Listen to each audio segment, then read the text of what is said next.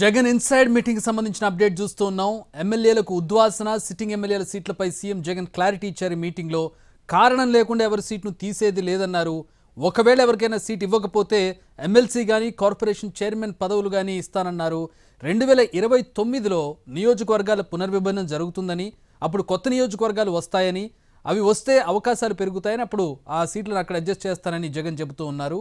ఇక పెండింగ్ బిల్లులన్నీ ఈ నెలలోనే క్లియర్ చేస్తానని హామీ ఇచ్చారు జగన్. బిల్లులు ఇవ్వకపోతే ఎమ్మెల్యేకు దెబ్బ తగులుతుందని వారికి దెబ్బ తగిలితే అది తనకు తగిలినట్టే అన్నారు సీఎం జగన్. ఎమ్మెల్సీ ఎన్నికల్లో ఓట్లేసిన వాళ్ళు తమ బటన్ బ్యాచ్ కాదన్నారు ముఖ్యమంత్రి. మధ్యకాలంలో ఎమ్మెల్సీ ఎన్నికలు జరిగాయని చాలా గొప్పగా ఏదో మాట్లాడుతూ వచ్చిన. ఇరవై ఒక్క స్థానాలకు ఎమ్మెల్సీ ఎలక్షన్ జరిగితే అందులో పదిహేడు స్థానాలు మనం గెలిచినాం. సరే ఆ గ్రాడ్యుయేట్ ఎమ్మెల్సీ ఎలక్షన్లకు ఒకసారి విషయానికి వస్తే అది కూడా అందరికీ కొన్ని కొన్ని విషయాలు తెలిసి ఉండాలి. ఎందుకనంటే మనం యుద్ధం చేస్తూ ఉన్నది మారీచులతో యుద్ధం చేస్తూ ఉన్నాం. ఉన్నది లేనట్టుగా లేనిది ఉన్నట్టుగా భ్రమ కల్పించే మారీచులతో యుద్ధం చేస్తూ ఉన్నాం. కాబట్టి కొన్ని విషయాలు తెలిసి ఉండాలి. మొన్న ఎమ్మెల్సీ ఎలక్షన్లలో జరుగుతూ ఉన్న అపోహలకు సంబంధించి వీళ్ళు క్రియేట్ చేస్తూ ఉన్న దుష్ప్రచారానికి సంబంధించి కొన్ని వాస్తవాలు తెలిసి ఉండాలి. ముప్పై నాలుగు నుంచి ముప్పై తొమ్మిది అసెంబ్లీ సెగ్మెంట్ల పరిధిలో ఒక్కొక్క ఎమ్మెల్సీ ఎలక్షన్ జరుగుతూ ఉంది. ఒక్క సీటు.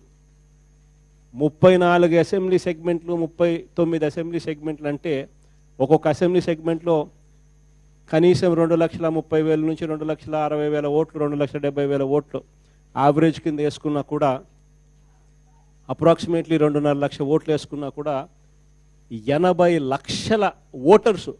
జనాభా కాదు.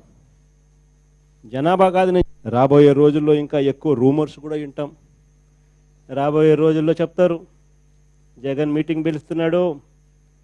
కనీసం యాభై మంది ఎమ్మెల్యేలకు అరవై మందికి ఎమ్మెల్యేలకు ఇప్పుడే లిస్ట్ చూపించేస్తున్నాడు. ఆ లిస్టులో ఇంతమంది వెళ్ళిపోతున్నారు అని ఇప్పుడే చెప్పేస్తున్నాడు జగన్ అని కూడా చెప్పేస్తున్నారు.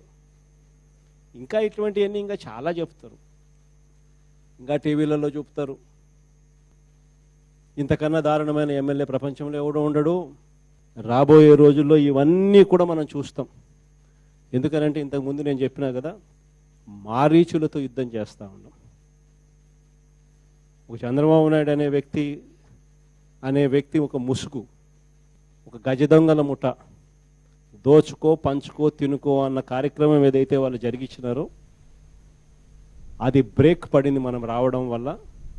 మళ్ళీ అది జరిగించుకునే దానికోసం చంద్రబాబు నాయుడు మళ్ళీ అక్కడ కూర్చోబెట్టి మళ్ళీ ఇదే డిపిటి పథకాన్ని దో